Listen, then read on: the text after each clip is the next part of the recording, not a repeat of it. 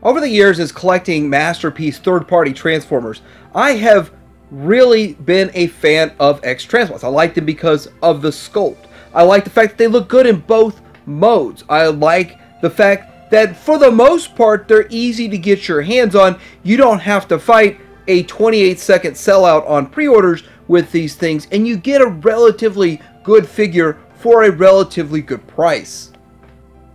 But lately, even my own confidence in X Transbots has been shaken a bit. I am a bit disappointed in a couple of their releases, and I'm actually concerned about a couple others coming out.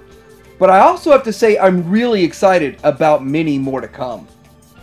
Today I kind of want to talk about the future of X Transbots and what we can expect, what I expect and what I'd like to see from them coming up.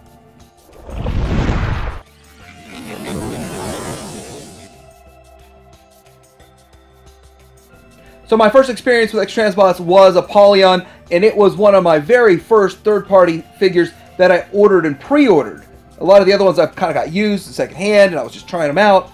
But he looks good, he fit the bill, but extremely complex and maybe overly complicated. But he still looks really good. I still have him to this day. I also picked up their Scourge and their Cyclonus, and the thing about these that they both look good in my opinion. I think their Scourge is a little bit too small. Their Cyclonus is almost too tuned to a detriment and with a little bit more plastic in it than I thought. I kind of got used to a little more die-cast in their figures. But still, both figures look good. And I have to say their Cyclonus looks so good. I was I was deciding did I really want to upgrade to the fans toys and now I have both and they look good side by side. Then they started into the mini bots and I have to say that I didn't buy any mini bots from any company for the $60 plus price point, 60 to $70 price point. I wasn't in on it back then, and I passed on them. I watched reviews just to see what people were saying, and for the most part, these reviews were negative on these. But I still went ahead and bought them on the second run anyway because I like the look. And they're not really that bad of figures, but we might get better ones in the future. This is sort of the area where it started to get a little questionable about X Transbots. And after watching all these other companies put out their Trailbreaker, of the Trailbreakers that are available, I still like X Transbots the best. I don't know if Fans Toys will dethrone them, but I think it's still a pretty good bot. Then comes out with their Neptune and their Klaatu. I have to say that these are still two of the best of those characters, in my opinion. So X Transbot's done a lot of good over the years. They also released G2 versions of their figures. They're readily, easily available. So they do a lot of these production runs and they're upfront with it too. It's not like they're hiding the fact that hey, down the road we're going to recolor it and put it back out. We know X Transbots is going to do a lot of the G2 recolors from the get-go, and a lot of times they put up the the solicitations for those around the same time. Like right now, we've got the G2 trailer and the G2 version of Motormaster available for pre-order around places. So then we had two releases that are really kind of struggling with the community here. First off, the Locke figure. Now, I will commend them. When they realized that there were so many issues with it, they cold stopped, recalled, and pulled them off the shelves.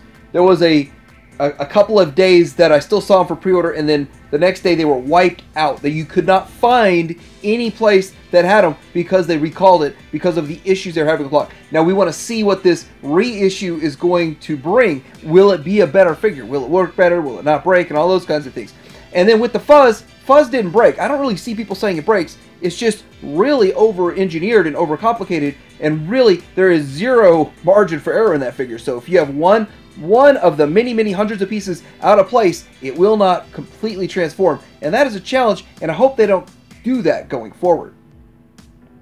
They've also expressed that they have issues with their Virtus, their Springer, which I've been saying is going to be the best one, and I still think it looks the best. So I am a little nervous about it, though. After what I've seen going on and kind of the direction they're going with their engineering, I really hope this works and it works well. And this is a triple changer, so there's a lot more going on with it. So that gets us to the future of X Transbots. And the future of X Transbots is they seem to be going in a direction where they're going to make figures that nobody else is making, which is what they should be doing. I really like seeing figures that we've never seen made in a masterpiece representation before, and that's what we're getting with these Omnibots. Now, I really thought we'd have seen the Omnibots by now, but they're jumping knee deep into Finster. We'll talk about that in a second. but these do look great. I remember having the Omnibots as a kid, and they're special to me because they were mail order, and I remember waiting forever to get them when I finally got them. It was so exciting. Well, I hope we don't feel like we have to wait forever to get these and then finally get them. And then we get into Runabout and Runamuck. But looking at these figures, I start to wonder, are these going to follow the same type of a transformation as Fuzz? Is this still going to have the same type of challenges Fuzz has? Or will these be a little bit more simplified to where they actually can be transformed properly without following a 100 step process or whatever it took to get them there? It's crazy the engineering in that one, and I hope they don't follow through with that with these. These do look a lot more simplified, but these are just renders. Once you see it in person, you see all of the actual panel lines, that's when you can tell exactly how challenging it's going to be. But I do want to give them credit. They're making figures nobody else is making. And will others follow suit and start copying them and giving them competition in this space? Well, they're going to be so far ahead of everyone and have put out so many figures by then that I really think they're just going to own this obscure space. This space of figures that nobody else wants to touch. So we've got Punch, Counter Punch coming out, and they're also offering two different versions, an American version and a Japanese version, and there's a little more to it than just different head. So a lot of people think it's just a head, include an extra head. That's not all. There's a lot of little subtle differences throughout it with paint apps here and there, but I think I'm actually going to order both so you can have one on one shelf and one on the other and nowadays, for that size and scale of a Carbot for 100 bucks, that's actually a pretty decent deal. So getting into their Defensor, we're starting to see the price impact. We felt the price impact with a few of their figures in the past, such as their Menasor trailer, and this is a $100 per limb, plus 130 to 140 for the main bot, and still unknown on the trailer, probably 200. So that's probably where you're at. You're probably in it for 740 or 750 or something if you're in it for this combiner and that's you got to pay to play. So the prices have shot way up and that is kind of a challenge. Some of the figures they're putting out are a great value and some are a little bit questionable value, but overall 750 or 40 or 30 for a combiner is kind of where we're at with this uh, Defensor. So at the same time that they're getting out a whole bunch of new obscure figures that they're working on. They're working on a defensor. They're working on the runabout runamuck. They're working on punch counter punch. They're trying to get Virtus production to where they can actually produce the thing. And then they're doing some other things like resurrect, resurrecting old projects. And they're trying to, well, go head to head with Fans Toys. We all know that X Transbots and Fans Toys are top rivals. Heck, they might even just be best friends, best of buds, and they just want to up each other or one up each other, or it might be even more sinister than that. But they are rivals and they don't like to lose. Neither company likes to lose. And this this Galvatron looks pretty good. What they've got going on looks pretty good. I think there's going to be some changes to this because this is still just a render, but once we see the actual prototype, it'll be interesting to see what that looks like. But they are taking on Fans Toys directly with this. But they are really trying to up their game and take on Fans Toys with a Perceptor. They are trying to take on Tesla 2.0, and I think they're doing a good job. This thing looks great. I hope it works great. I mean, it's really impossible to mess up a transformation on a Perceptor, right? That's like one of the easiest figures. You just move the arms up, fold the legs, flip the head down. I mean, that's that's all you got to do. So there's not much to a Perceptor transformation. So I would expect this thing to be super duper rock solid. This thing comes with a plethora of accessories, and so again, we don't know price. When they include a lot of accessories, you start wondering, are they going to push the $200 price point? I think if they keep this thing down around the 160 price point, they are going to destroy Fans Toys with all the people that missed out on the pre-orders, and these will sell. It'll be their Perceptor, and then when all the pre-orders are sold out and miraculously there's another thousand on the market at all these different places, well, people are already happy with their X Transbots. This is an opportunity that they have that they could one up Fans Toys, and if they do, they're going to regain quite a bit of well, I don't know trust, but maybe a little bit of clout in the community. So the alt mode looks really good on this Perceptor. And the other thing about this is, and I, I think they call it Janssen, is the, the name of Perceptor is Janssen, but they have these minifigures from one of the episodes where they all shrunk down and did something with Megatron. But I need to rewatch that episode. That'd be a lot of fun. but they do look good. Like this is so interesting that they're including this, and that these little minifigures are just a little add-on. But I don't know how much of a cost it's going to add on that they added on these figures. But the the alt mode looks great, and really looking at it and trying to decipher how it's going to work, it doesn't look like they overcomplicated the transformation. I can see where all the parts are and how it's working. It looks like it's going to be a relatively simple transformation.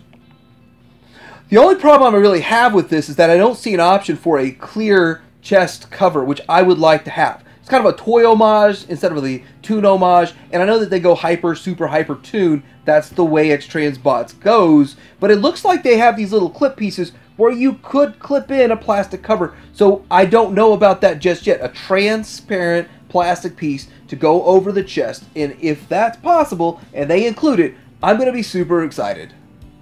Here are all the weapons, what you would expect, including a blast effect, and it does look good. These weapons look great. You can tell that these are painted. Oh, did I mention these are not renders? Like they came out of nowhere, no announcement, with a prototype that's probably ready for production. And no renders. Uh, not even renders. It's just straight up prototype, and all these pictures of the prototype. It's outstanding. They're including this tank mode. I, I view it as completely unnecessary, but it doesn't look like it adds to the complexity of the figure at all, and it hopefully didn't add to the cost of it at all. But hey, it's a thing that you can do. It's pretty simple. All right, here we go. Side by side comparison with the Fans Toys Tesla 2.0, the FT46. And this is a really tough one because they both look great. I mean, these look fantastic. Both of them do. So, side by side, starting at the top, the head and the face. So, Fans Toys' face does look good. And that's one of the issues with the 1.0 Tesla. The 1.0 Tesla had a terrible face, right? Everybody hated that. And so X-Transbots is giving you like five or six different face options and expressions. And I think they all look pretty good. I, none of them look as bad as the 1.0, but I don't know when they come out which one will look better, which one I would like better. Of course, I'm going to get them both, so I'll, I'll know then. Looking down through the chest area, now I do hope that X-Transbots includes a clear piece, but the Fans Toys has a lot of detailing going on in the chest area. So I don't know if maybe they do include a clear piece. You're going to get that detailing with that clear piece. Who knows? But as it stands right now, I like the chest on Fans Toys a lot better.